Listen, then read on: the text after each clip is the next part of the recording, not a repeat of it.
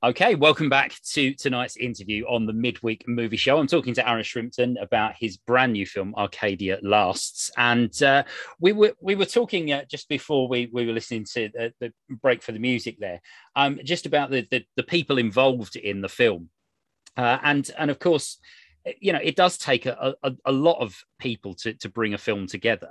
Um, but this is not the first time that you've been behind the camera, is it? This is something you've been doing in lots of different ways for, for quite a while. What's your background in terms of filmmaking? Um, well, I studied uh, film and photography at Napier University mm. uh, in Edinburgh. And I, when during that time, I made a music video for a friend of mine uh, who was becoming quite successful. So I fully jumped on his coattails uh, made a track with a uh, video for Scroobius Pip featuring track uh, of a guy called Yilla. And I that won a, a new talent BAFTA when I was at uni. And from there, I kind of made lots of music videos. And then I made some more music videos for Pip uh, for his Distraction Pieces album. And yeah, so I kind of music videos was sort of my entry point into short filmmaking, I guess. Um, mm. I, this is actually the first time I've written a script. Yeah. And but and you know try to organize and produce something of this size um, if i'd have known when i started that you know don't ha- don't have too many locations don't have too many characters keep it in one room yeah. if you want to learn your, your craft the slow way um, the, the, the more accessibly way and yeah the crew so in terms of crew and recruitment uh, I guess having the people working for me over the time, and I've done lots of commercial based stuff and you you kind of meet people along the way, and this mm. was very much like I didn't have a lot of budget, but I decided to pay everyone. Um, in fact, I kind of really had no budget really. I was just kind of winging it, what yeah. available c- credit cards I had available, uh, and hoping I could pay it back. and it was a bit kamikaze. I managed to get some funding. I've produced, produced some prints uh, to try and help raise that. I had some successful artist friends that helped me out, and little bits of funding that kind of pulled that together, which allowed me to to pay the people I'd kind of employed before for a lot more, um, but I was felt it was important that everyone was paid and everyone was paid the same. So there was no sense of division of hierarchy. Everyone mm. was kind of there for the same reason. But everyone was also earning something out of it, you know, which I think is important. Uh, and the crew uh, was lucky to have uh, Isabel Jones come along and DOP. Uh, as I said, Barry Casnolia was uh, come and produce it with me. And a guy called Ash Garwood, who brought all his equipment along, was the best camera system possibly money could have bought, basically.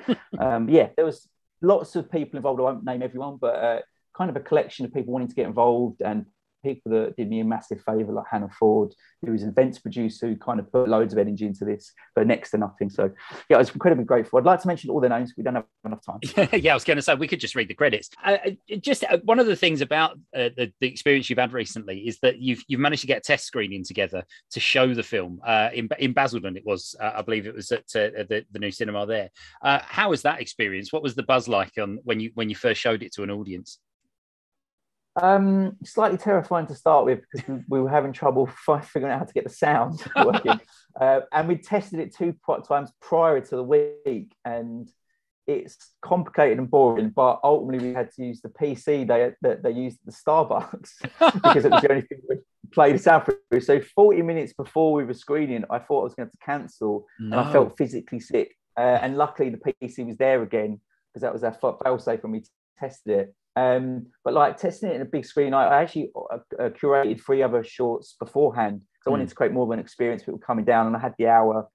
Uh, but I would recommend it to anyone making short films is mm. to test it in a big screen because you really don't know how things look and sound until you've done that. And if yeah. you want it to go to festivals, and that's where you know you should be aiming towards rather than just put it on YouTube and seeing if mm. letting your friends see it. It's the ultimate test of what that will be like for other people when they go to they watch them at festivals, you know. So it was amazing. To be honest, the feedback's been much better than I could possibly imagined, uh, and we were able to, you know, figure out things to improve on as well for when we send it to festivals. I was going to say, and that's the future for it now. Is it's uh, it's going to be packaged, you know, hopefully into, into various different festivals, and you know, fingers crossed, you know that uh, that that BAFTA that uh, that you received a while back might not be the only uh, uh, thing being flying your way in the future. We'll keep the fingers crossed for you yeah, you know, don't, you definitely don't set out, don't do things because you want to win awards, do things because it feels good and it, you, you learn from the process. But if it gets into festivals, you're ultimately going to get seen by more people. Yeah. And if it's seen by people, then the experience is traveled. And that's, you know, the, the transcendent element of making art, I guess. It is, uh, and it's uh, it is a fantastic film, and uh, we, we, look forward to uh, we, have we've, we've been able to see the the, uh, the early cut of it, but uh, we'll be looking forward to seeing the the, the full version. hopefully, we'll we'll get it get it up here in the northwest as soon as we can. it's been lovely to talk to. Yeah, um, we always asked our guests to, to, talk a little bit about their their influences in terms of soundtracks, and and I was over the moon when you said the words Thom Yorke to me, uh, and uh, and you've chosen a particular piece. Uh, what's what what drew you to Suspirium? Well, I listen to. I don't really listen to much else other than Radiohead. For really honest, listen to music per se. I mean, I try to listen to other bits of music, but Radiohead is my kind of go-to.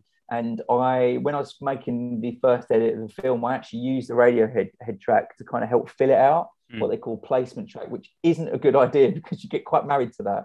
uh, and trying to replace that and get something that's good or relative is quite difficult. Um, and it was the opening part by there was a film made uh, called uh, remake of Suspiria, and Thom Yorke did the soundtrack to that, and it's just an amazing soundtrack. It is quite dark as well, and it's uh, I mean all the Radiohead seems to be quite good at. Jonny Greenwood's obviously an excellent composer now mm. um, in his own right and it's just a beautiful piece of music uh, for a really dark film.